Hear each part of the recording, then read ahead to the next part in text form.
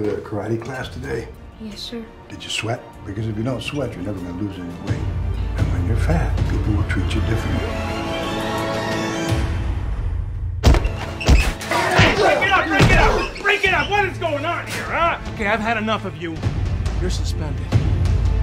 James, Come on, man. What, What- about what? the kids? No, no, The no, kids. don't, don't you dare call them kids. Those are not kids. Those are little animals, man. You can't quit now. Watch me. Told you guys he was gonna leave. Charlie said he was gonna find us a new coach, so let's just wait and see. This is a bad idea. Because I hate kids, Charlie. They smell and they're pain in the butt.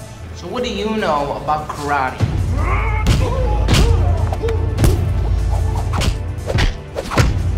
A little. An MMA champ named Lightning Bolt?